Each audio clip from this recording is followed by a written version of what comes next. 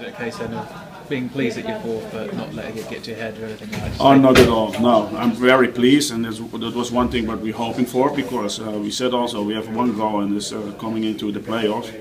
And, uh, but we're not there yet, and a lot of games coming up. And uh, you see what we did last couple of four games. It, it brings you quickly also in, in the playoffs.